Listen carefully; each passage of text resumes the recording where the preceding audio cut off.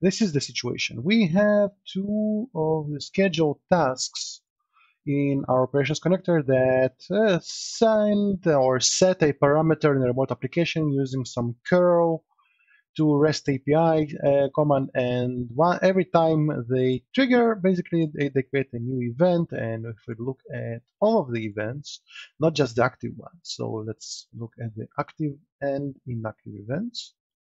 You see that uh, basically it says clip scenario starts, clip scenario ends, and it just alters between themselves. Although it looks a little bit weird over here, but uh, trust me, they do alter. So one of them is sent as a closed event. So we need to fix that. And what is it that we need to fix? We need to make sure that only one of those events is active. So basically, clip scenario starts is an open event that is sent to uh, uh, to the console, and then when the clip scenario ends in five minutes, uh, we need to basically when when this event is sent in a closed state, it should eliminate this a, this first event, right? So to do so, we need to set up some rules, and the rules are basically the correlation rules. So we open the first one and we set the correlation. Uh, and not to confuse with TBEC or RESBAC correlation, that's called the correlation key. So if I remember correctly, let me see if I didn't mess up the terminology. Okay, we're still waiting, still waiting. Okay, trigger login slowness. Okay, start event. Okay, and then it called event correlation. So we said we say uh, what called scenario starts. Okay, and basically scenario ends, and I put a semicolon here.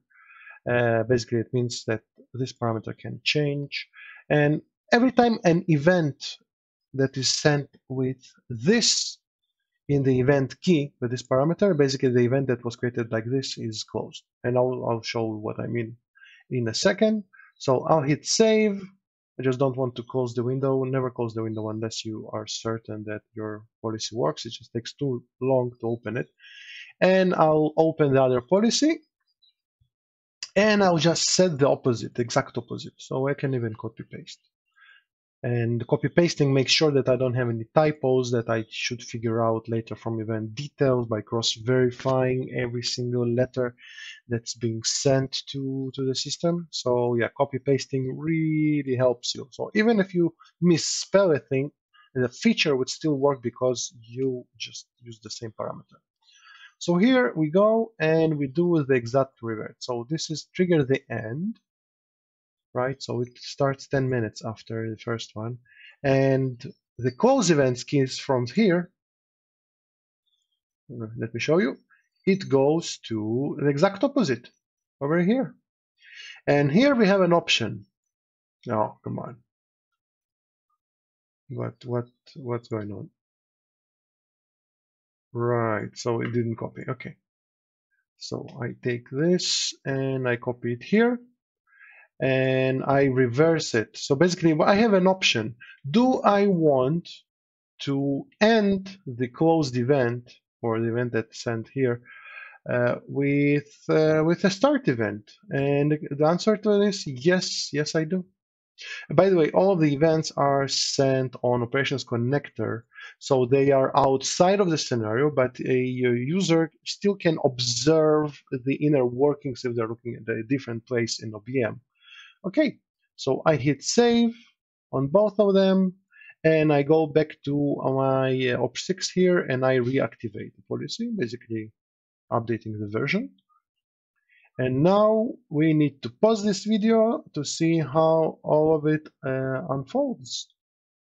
Okay, so we can see the events for the last hour. You know what? I'll switch to this uh, view, to the HTML file sorry, from, from HTML file, I'll switch to the Flash view just because I, I uh, also like include active events.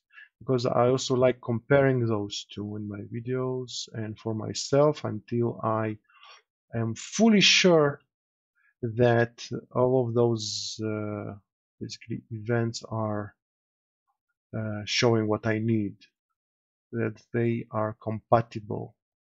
Okay, so here I see that the time received is actually not the filter, it was uh, filtered by title. So now it makes a little bit more sense. So uh, this Eclipse scenario ends, but where is the start? That's the start, 545, that's the end, 555. Okay, so now I need to go through the whole cycle on a pause and we'll see the end result. And also probably, you know, just to make it clean, I'll close all of them. And I reset the HIs just to make it a little bit clearer. Yeah, now all of them are closed. And this is the same situation over here. It should refresh itself, but still, let's just, yep, everything is closed.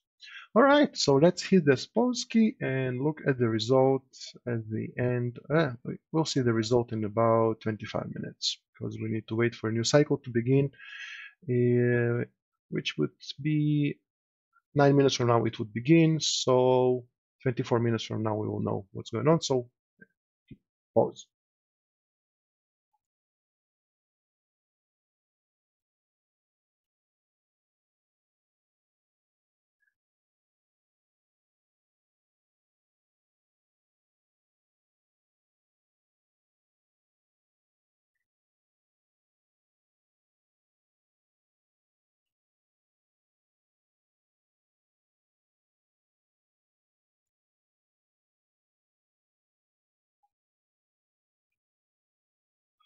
Okay, so that moment of silence there was actually me trying to record the effect while having a chat with IT about Windows expiration. My laptop thinks that its Windows is no longer valid, so I was on a call with them and I tried to sneak in the effect.